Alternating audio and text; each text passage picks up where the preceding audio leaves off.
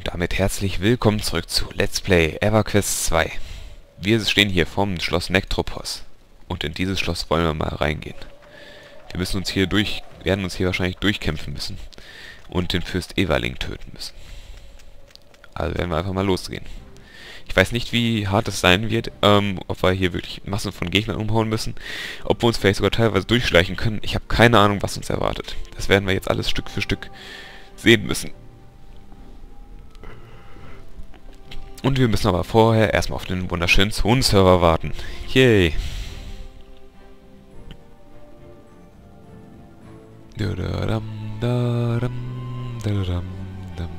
Also auf jeden Fall ist Nektropos Schloss eigentlich eine Instanz für bis zu sechs Spielern.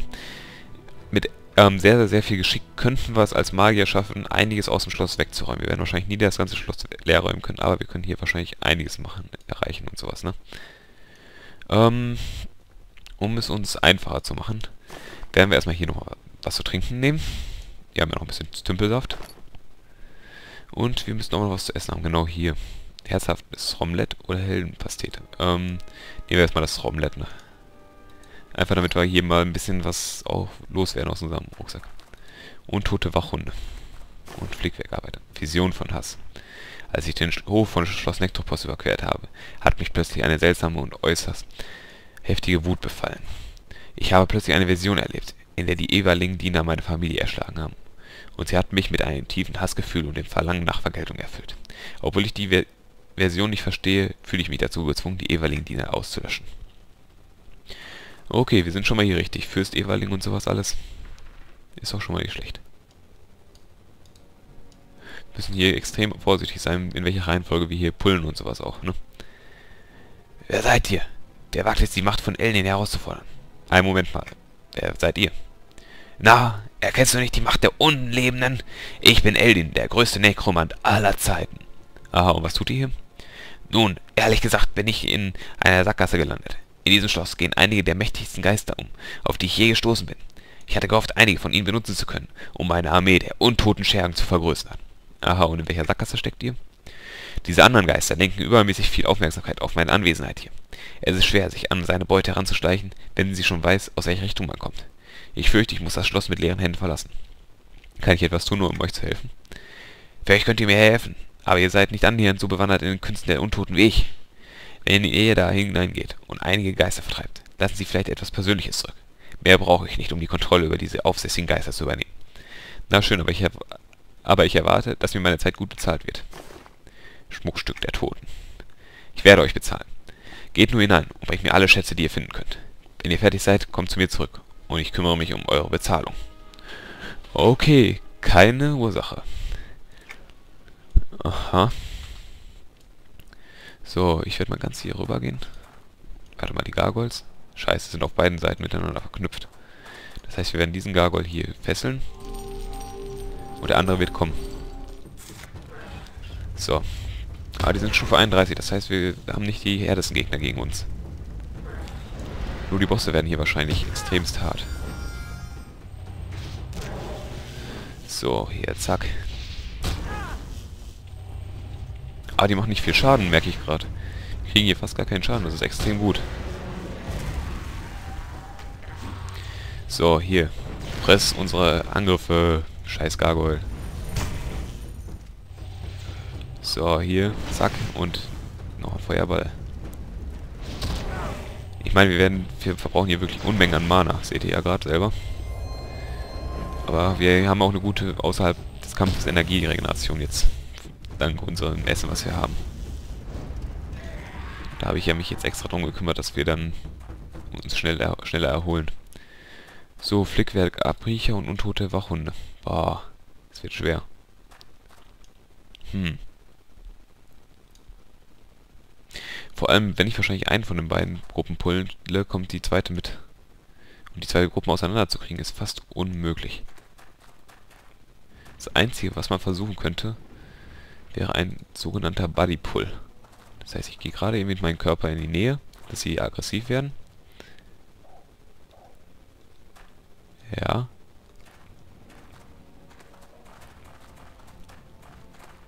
Ähm, ja, hier nochmal, ein bisschen näher. Nein, der will nicht. Ah. Also das ist eine bekannte Instanzentaktik. Ne, die stehen mir jetzt absolut zu nah aneinander, um gerade einen Bodypull zu versuchen. Also ein Bodypull heißt, ich ziehe wirklich nur die Aggro von denen, weil ich die ja noch nicht angreife. Ähm, werden andere in der Nähe nicht ähm, mit alarmiert, sondern die kommen halt von sich aus. Ähm, aufgrund ihres Aggressivitätsradius kommen sie an. Das ist ähm, die, der Gedanke, der hinter dem Bodypull steckt. Jetzt, jetzt ist beste Gelegenheit. Jawohl. Die haben wir. So, jetzt muss ich den Flickwerkarbeiter erstmal aus dem Weg räumen.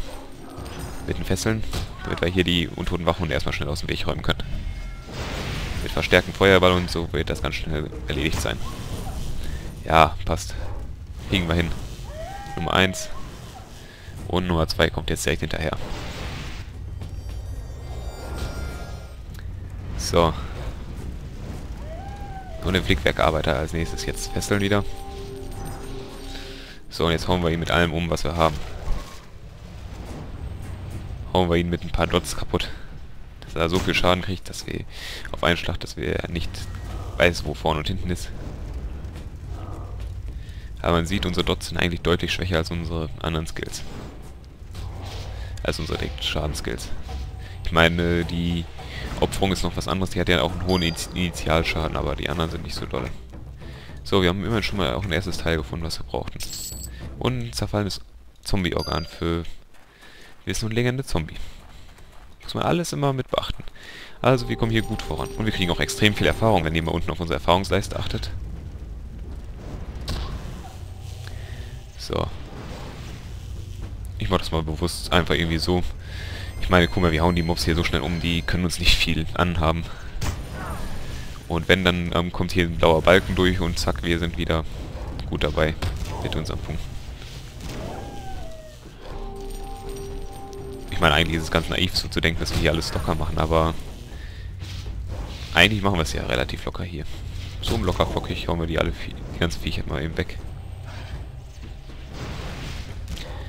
Naja, oder mehr oder weniger locker, aber wir kriegen die ja gut weg. So, hier. Tot. Siehst du? So einfach geht das. Boah! Ach du Scheiße, wir bekommen aus einem einzigen Wachhund teilweise 42 Silber. Ach du Scheiße. Wir werden ja reich hier durch die Instanz, wenn wir hier so weitermachen. Boah, das habe ich ja total vergessen, dass es hier in Instanzen richtig gut Geld gibt. Und dort hinten ist etwas, was wir brauchen. So, das sind drei Obsidian Gargoyles, die für sich solo stehen. Ich hoffe, die kommen jetzt hier nicht durch die Wand. Dann kann ich den nämlich dort links ähm, alleine kriegen. Wenn ich es schaffe, ihn erstmal ins Dauergefesselt zu halten. Nein! Scheiße. Da kommt sein Kumpel dazu. Ich hätte doch wieder einen Bodypull machen sollen.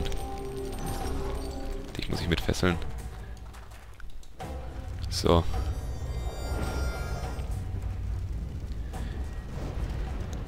Ich muss hier gucken, dass ich das wirklich irgendwie auf die Reihe kriege, beide gleichzeitig umzuhauen.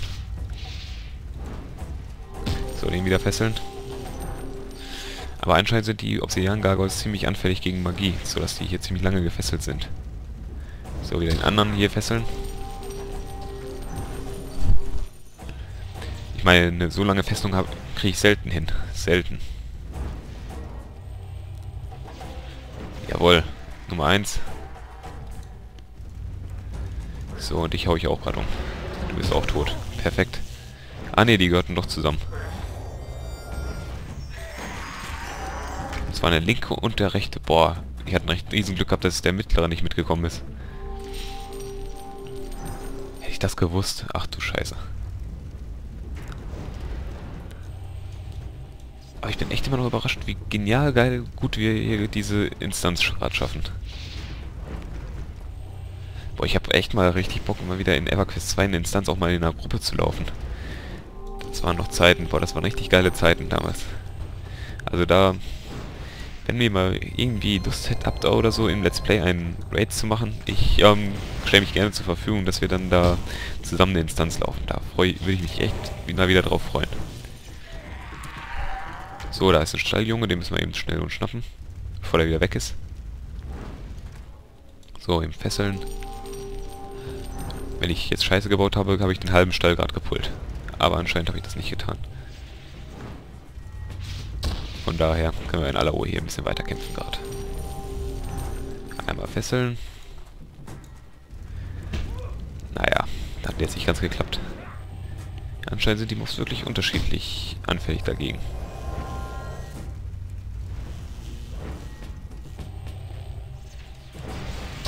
So, Fesselung nochmal. Und Solarbrand. Beziehungsweise Feuerball zu Tode. Zack. Fiole mit geisterhafter Essenz und eine Schatztruhe. Paket des Lukan. Äh, Pakt des Lukan für den Schattenritter. Wunderbar. Dort hinten ist ein Fragezeichen. Das nehmen wir uns natürlich mit. Und wie ihr seht, erholen wir uns wirklich extrem gut und schnell. Das freut mich gerade auch richtig, dass wir hier wirklich dann ziemlich bald dazu kommen, weiterzumachen. So, in die Stelle gehe ich mal kurz unsichtbar rein, damit ich mich mir guten Überblick verschaffen kann. Wo habe ich denn schon wieder... Ah, habe ich die Unsichtbarkeit hingepackt. Ich glaube, zwar hilft die nichts gegen die meisten Mobs hier, aber wer weiß. Da ist noch der Schweinefürst. Den werden wir auch auf jeden Fall umhauen. Der kann uns auch sehen. Wir aber ihn jetzt gerade nicht. Deshalb stellen wir uns mal hier hin.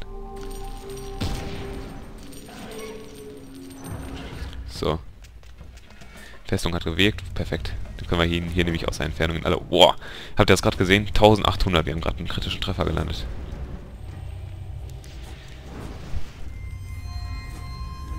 So, nochmal hier eine Festung. Ey, ich habe doch gerade eine neue Festung drauf gemacht. Arsch. Hier, Festung. Lass mich in Ruhe. Ich will dich nur umhauen. Okay. Notzauber. Mana-Verbrennung. Wenn er uns umhaut, bevor... Scheiße. Scheiße. Bitte geh durch, bitte geh durch. Zauber, Zauber, Zauber, Zauber. Boah. Also ohne Mana-Verbrennung hätten wir das, glaube ich, jetzt nicht kaum noch geschafft, weil er irgendwie unserer Festung immer widerstanden hat. Scheiße. Und hätte er die Mana-Verbrennung noch einmal unterbrochen, wir wären tot gewesen. Boah, Glück gehabt. Verdammtes Glück gehabt. Dort hinten steht der nächste Flickwerksoldat. Ja, wie... Scheiße, die Viecher spawnen alle nach. Dann haben wir keine Chance. Dann brauchen wir es nicht weiter zu versuchen. Wir werden uns hier nie, nie durchkämpfen können, wenn hier alles ständig respawnt. Schmiedlehrling und alles. Nee. Nee, die Quest muss warten. Die, ohne Gruppe kommen wir hier nicht durch. Tut mir leid. Aber wir können zum Abschluss nochmal hier diese beiden Obsidian-Golems umhauen. Äh, Gargoyles. Sag ich? Golems. Hier nochmal Feuerball in deine Fresse. Aber ich werde auch nochmal ein bisschen im Auge behalten. Vielleicht ähm, respawnen auch nur einige Mobs, nicht alle. Ich weiß ja wirklich nicht, wie das hier geregelt ist. Ich bin jetzt eigentlich gewohnt, dass Instanzen, in Instanzen nichts nachrespawnt, aber das kommt dann halt aus anderen Spielen und so, ne? Wo man eine Instanz dann wirklich komplett leer räumen kann. Andererseits hat, hat es natürlich seine Vorteile, wenn die Mobs nachspawnen können. Dann hat man auch ein bisschen was ähm, zu tun und zu kämpfen. So, Flammen von Velios. Und zack. Zwei Gargoyles umgehauen nochmal. Mit ein paar Steintrümmern. Was bringen die? Sind wieder ein bisschen was zu verkaufen, gut. Hm. Ich würde sagen, wir beenden erstmal diese Folge. Ich werde das im Auge behalten, ob hier noch mehr respawnt. Wenn ja, dann haben wir leider keine Chance und müssen es anders machen. Wenn nein, dann werden wir mal gucken, wie viel wir noch schaffen können in den nächsten Folgen. Bis dahin wünsche ich euch was und